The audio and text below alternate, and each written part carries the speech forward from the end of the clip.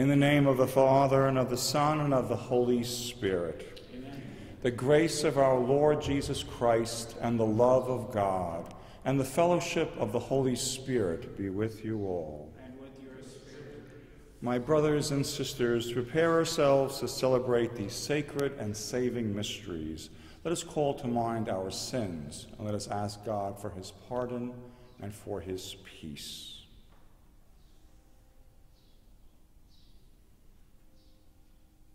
I confess to Almighty God and to you, my brothers and sisters, that I have greatly sinned in my thoughts and in my words, in what I have done and what I have failed to do, through my fault, through my fault, through my most grievous fault.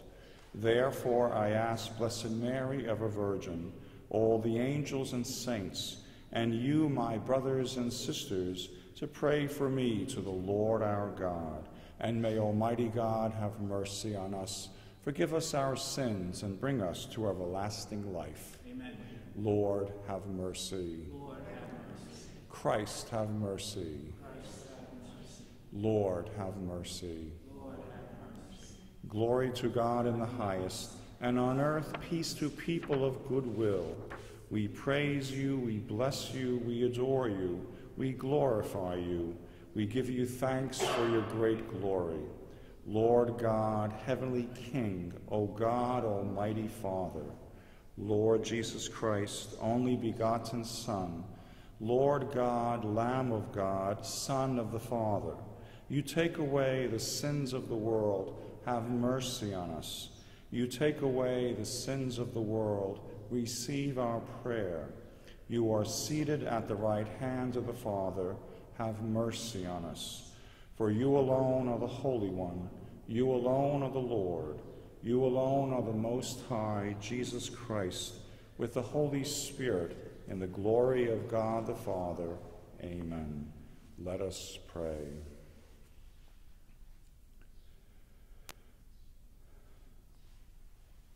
Almighty, ever living God, constantly accomplish the paschal mystery within us, that those you are pleased to make new in holy baptism may, under your protective care, bear much fruit and come to the joys of eternal life.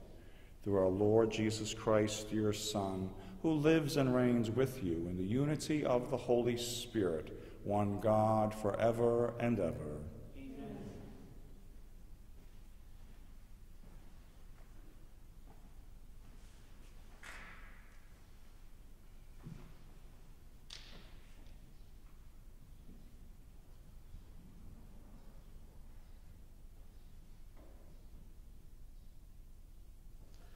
A reading from the Acts of the Apostles. As the number of disciples continued to grow, the Hellenists complained against the Hebrews because their widows were being neglected in their daily distribution. So the twelve called together the community of the disciples and said, it is not right for us to neglect the Word of God to serve at the table. Brothers, select from among yourselves seven reputable men, filled with the Spirit of wisdom, whom we shall appoint to this task, whereas we shall devote ourselves to prayer and to the ministry of the Word. The proposal was acceptable to the whole community so they chose Stephen, a man filled with faith and Holy Spirit. Also Philip, Prochorus, Nicanor, Timon, Parmenas, and Nicholas of Antioch, a, convert to Judaism. They presented these men to the apostles who prayed and laid hands on them. The word of God continued to spread and the number of the disciples in Jerusalem increased greatly. Even a large group of priests were becoming obedient to the faith. My brothers and sisters, the word of the Lord. Thanks be to God. Our responsorial Lord, let your mercy be on us as we place our trust in you. Let your mercy be on us as we place our trust in you. Exalt you just in the Lord. Praise from the upright is fitted. Give thanks to the Lord on the harp with the string, with the ten-string lyre, chant his praises. Lord, let your mercy be on us as we place our trust in you. Upright is the word of the Lord, and all his works are trustworthy. He loves justice and light. Of the kindness of the Lord, the earth is full. Lord, let your mercy be on us as we place our trust in you. See, the eyes of the Lord are upon those who fear him, upon those who hope for his kindness, to deliver them from death and preserve them in spite of famine. Lord, let your mercy be on us as we place our trust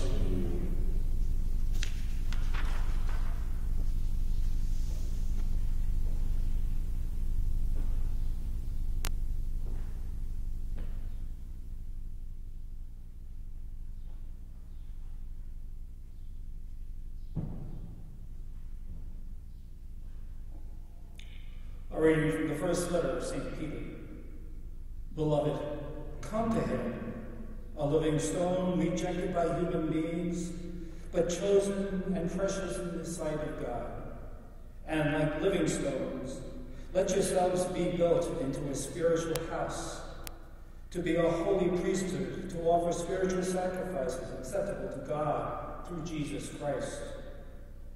For it says in Scripture, Behold, I am laying a stone in Zion, a cornerstone chosen and precious, and whoever believes in it shall not be put to shame.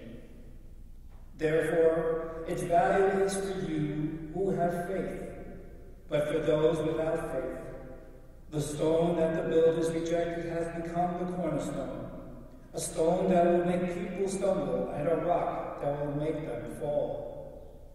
They stumble by disobeying the word, as is their destiny. You are a chosen race, a holy priesthood, a holy nation, a people of his own, so that you may announce the praises of him who called you out of darkness into his wonderful light. The word of the Lord. Thanks be to God.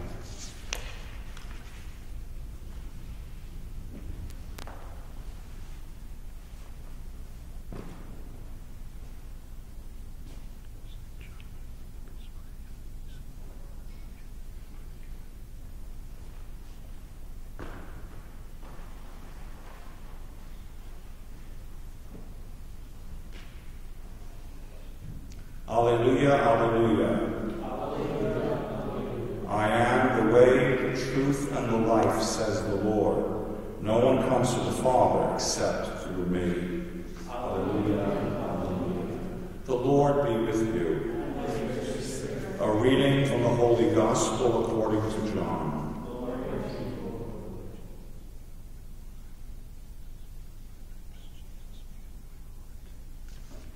Jesus said to his disciples, Do not let your hearts be troubled. You have faith in God, have faith also in me. In my Father's house there are many dwelling places. If there were not, would I have told you that I am going to prepare a place for you? And if I go and prepare a place for you, I will come back again and take you to myself, so that where I am, you also may be. Where I am going, you know the way. Thomas said to him, Master, we do not know where you are going, so how can we know the way? Jesus said to him, I am the way and the truth and the life. No one comes to the Father except through me. If you know me, then you will also know my Father. From now on, you do know him and have seen him. Philip said to him, Master, show us the Father, and that will be enough for us. Jesus said to him, Have I been with you for so long a time, and you still do not know me, Philip? Whoever has seen me has seen the Father. How can you say, Show us the Father? Do you not believe that I am in the Father and the Father is in me? The words that I speak to you, I do not speak on my own. The Father who dwells in me is doing his works. Believe me that I am in the Father and the Father is in me, or else believe because of the works themselves. Amen, amen, I say to you, whoever believes in me will do the works that I do, and will do greater ones than these, because I am going to the Father. The Gospel of the Lord. Praise to you, Lord Jesus Christ.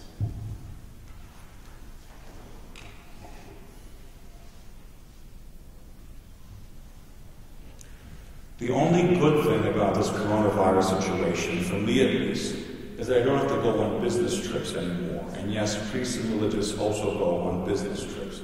And I hate them just as much now as when I worked in the corporate world as a buyer for Barnes & Noble bookstore, that I had to go on all these trips across the country to visit and evaluate stores that all looked alike anyway, whether they were in Salt Lake City or in Atlanta or Cleveland or Paramus, New Jersey. And as a member of the Council for my Capuchin province, until very recently I had to make all these trips to White Plains and Yonkers and Middletown, Connecticut, and Boston, I dreaded each and every one. Not that I don't want to see my Capuchin brothers, of course I do, I love them. But I did not want to be away from what I know, from what I do every day.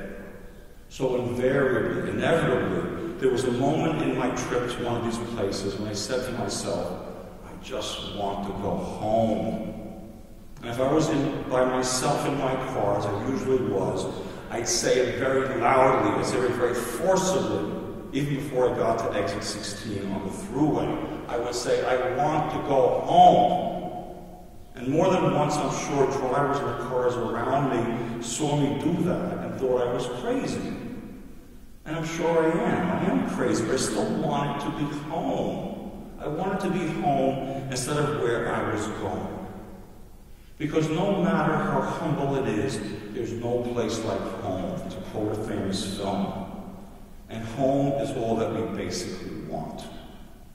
For what is a home and just a place where we feel safe and protected, where we know where everything is, where, where we're comfortable, where we're at peace?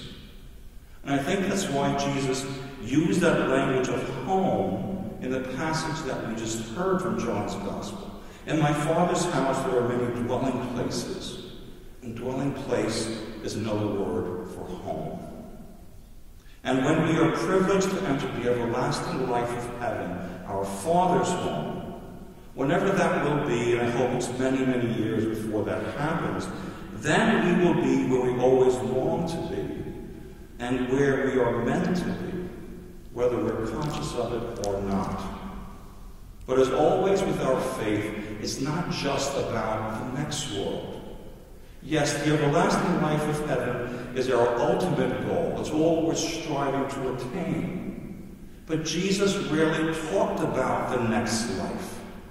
When he spoke about the kingdom of God, he spoke, when he spoke about eternal life, and he did that all the time, he almost always meant the life of this world of how we can know God and be united to God in the here and the now, of how we can bring about the kingdom of God, how God wants the world to be while we're still on earth. And coming home to God is much more simple, much more fundamental, much more able to be achieved than we sometimes think. Because we already have God within us and all around us.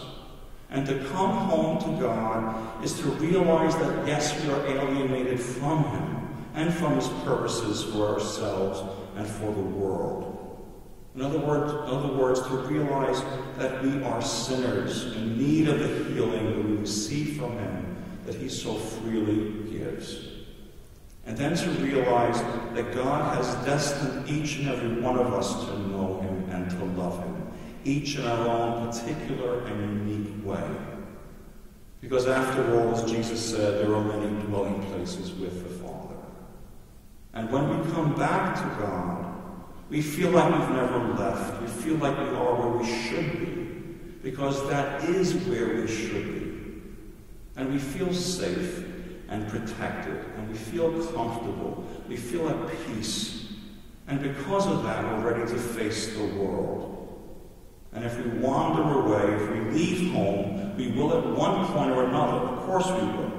We still know that we can find our way home. That the Lord is guiding us and putting us back on the right path again and again and again. Because He wants us home with Him even more than we do, or at least just as much. And the best part of it is that even though it may take a while for us to get back home, you can still enjoy the trip back. Because as St. Catherine of Siena famously said, all the way to heaven is heaven.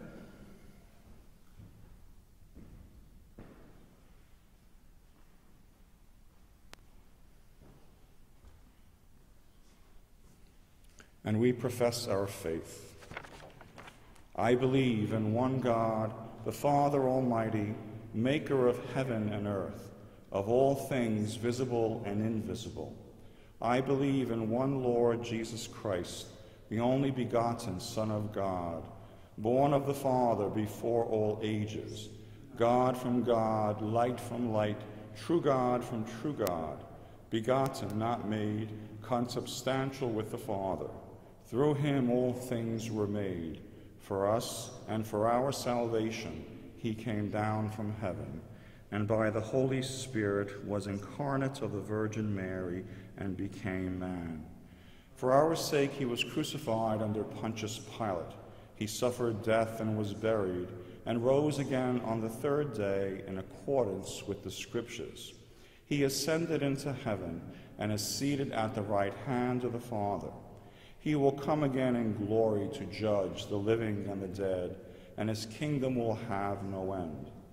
I believe in the Holy Spirit, the Lord, the giver of life, who proceeds from the Father and the Son, who with the Father and the Son is adored and glorified, who has spoken through the prophets. I believe in one holy, Catholic, and Apostolic Church. I confess one baptism for the forgiveness of sins and I look forward to the resurrection of the dead and the life of the world to come. Amen. Whoever believes in Jesus will do the work of the Father and come to know God's redeeming love. In confidence, we bring to God our prayers and petitions. For the church, that we may live as God's chosen people and follow Christ, who is our way, our truth, and our life, we pray to the Lord. Lord, hear our prayer.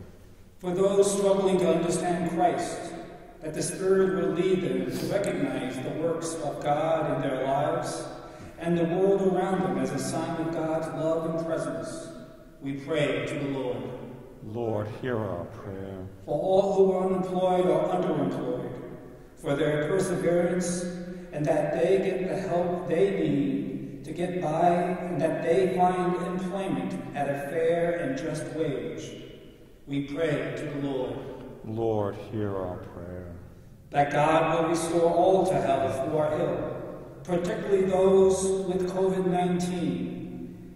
That He will guide the researchers in finding an effective treatment. We pray to the Lord. Lord, hear our prayer. For the intention of our Mass, Gustavo Perez, we pray to the Lord.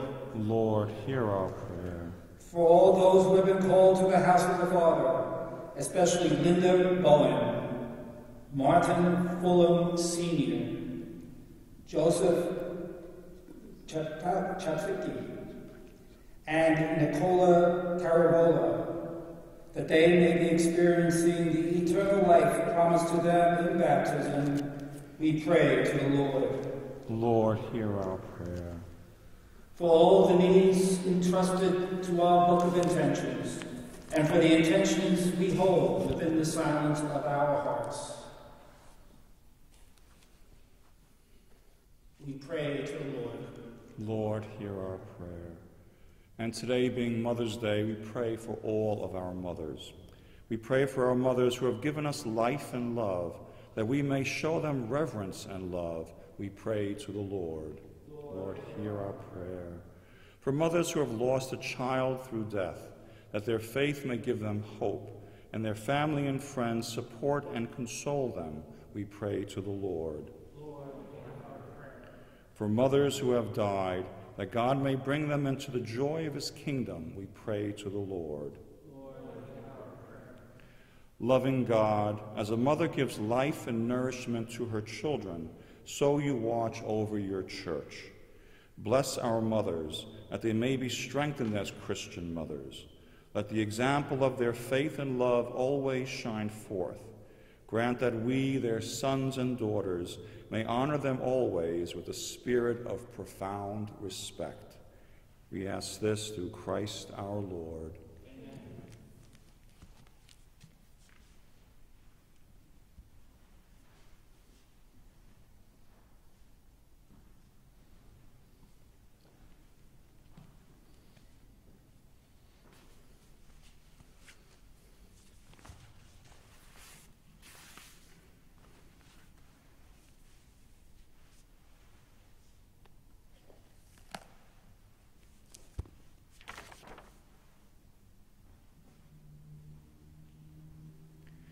Blessed are you, Lord God of all creation, for through your goodness we have received the bread we offer you. Fruit of the earth and work of human hands, it will become for us the bread of life. Blessed be God forever.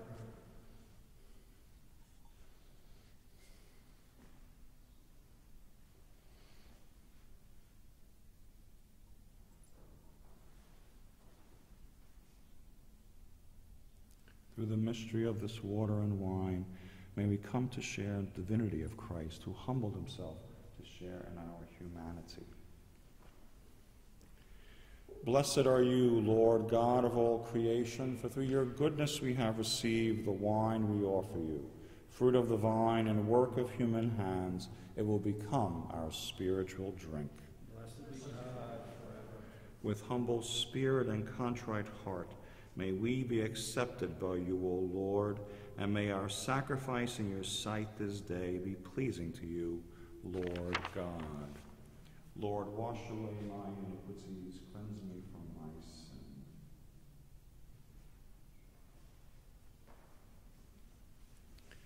Pray, my brothers and sisters, that our sacrifice may be acceptable to God, the Almighty Father.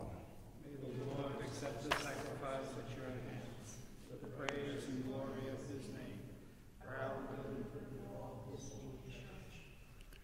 O God, who by the wonderful exchange effected in this sacrifice have made us partakers of the one supreme Godhead, grant, we pray, that as we have come to know your truth, we may make it ours by a worthy way of life.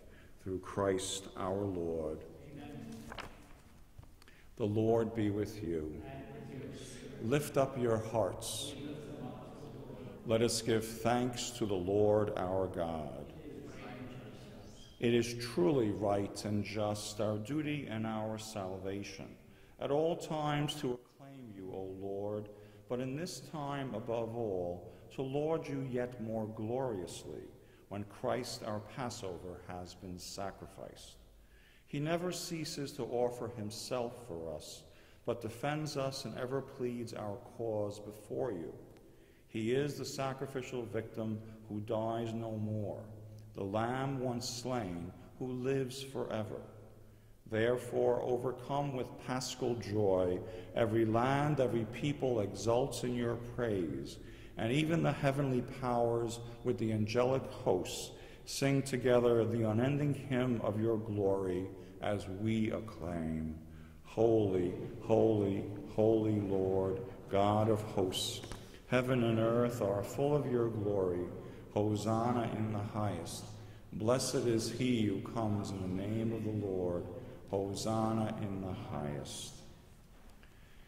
You are indeed holy, O Lord, and all you have created rightly gives you praise.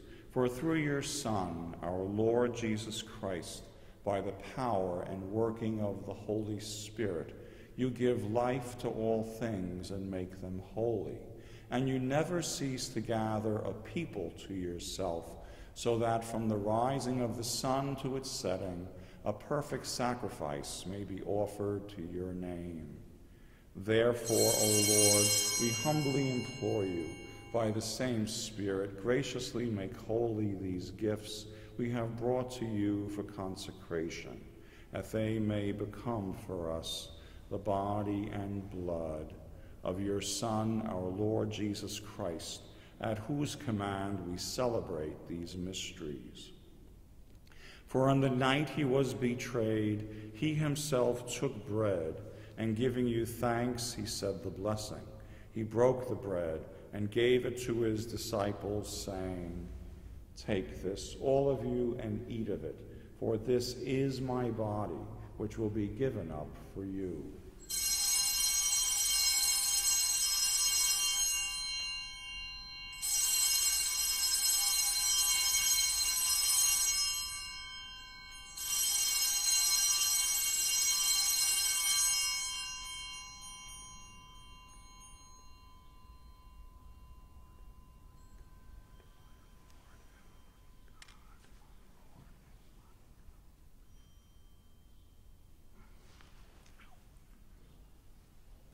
In a similar way, when supper was ended, he took the chalice, and giving you thanks, he said the blessing, and gave the chalice to his disciples, saying, Take this, all of you, and drink from it, for this is the chalice of my blood, the blood of the new and everlasting covenant, which will be poured out for you and for many for the forgiveness of sins.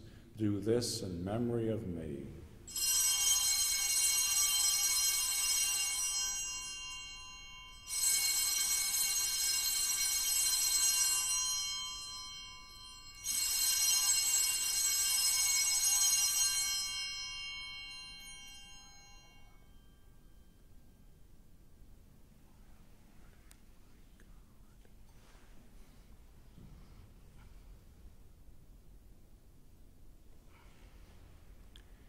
The mystery of faith. When we eat this bread and drink this cup, we proclaim your death, O Lord, until you come again.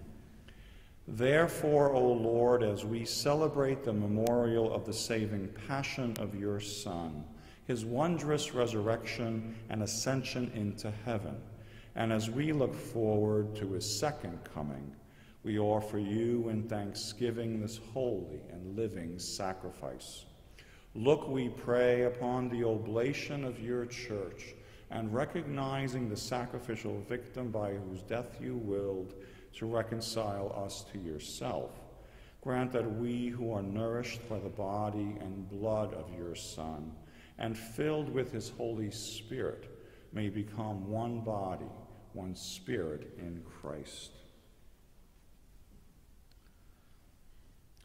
May he make of us an eternal offering to you, so that we may obtain an inheritance with your elect, especially with the most blessed Virgin Mary, Mother of God, her spouse, Saint Joseph, with your blessed apostles and glorious martyrs, and most truly our patron, Saint Francis and Saint Clare on whose constant intercession in your presence we rely for unfailing hope.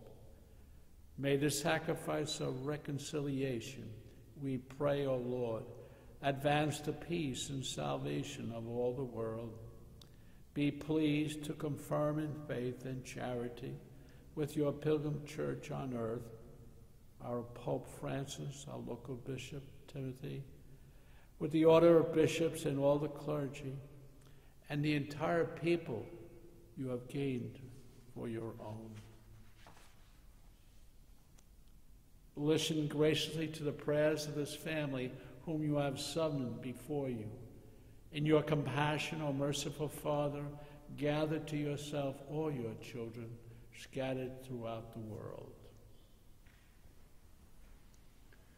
To our departed brothers and sisters, especially Gustavo Perez, and to all who are pleasing to you at their passing from this life, give kind admittance to your kingdom.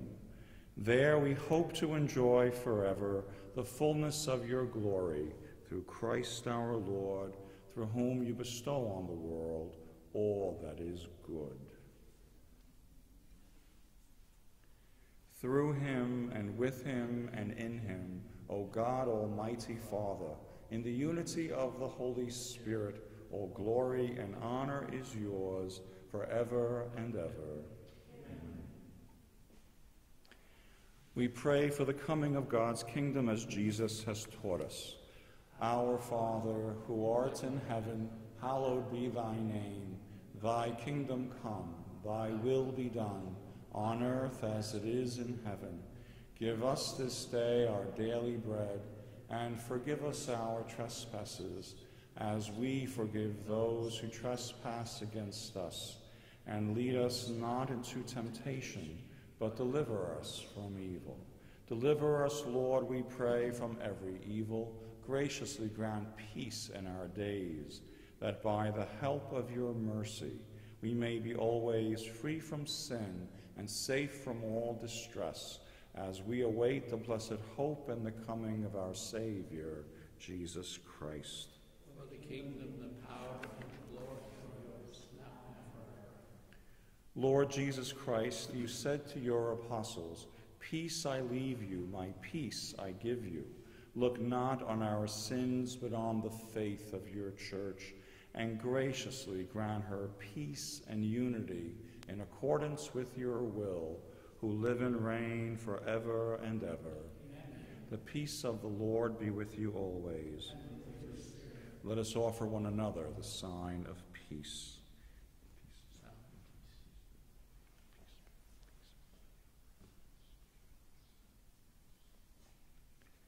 Lamb of God.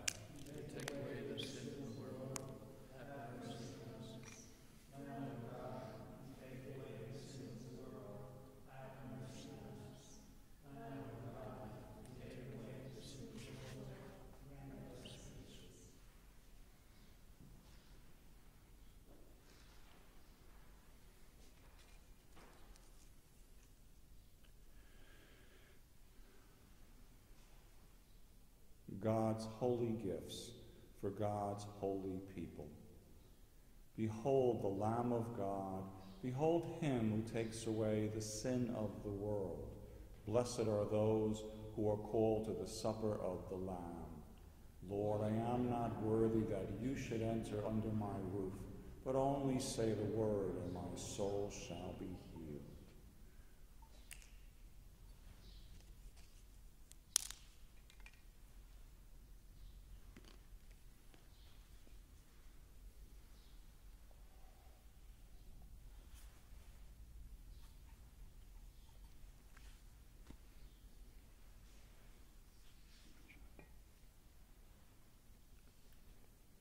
for those who cannot receive at this time, we offer an act of spiritual communion.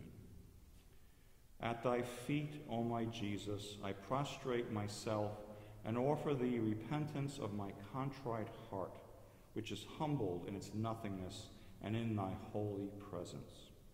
I adore thee in the sacrament of thy love, the ineffable Eucharist. I desire to receive thee into the poor dwelling that my heart offers thee. While waiting for the happiness of sacramental communion, I wish to possess thee in spirit. Come to me, O my Jesus, since I, for my part, am, am coming to thee. May thy love embrace my whole being in life and in death. I believe in thee, I hope in thee, and I love thee. Amen.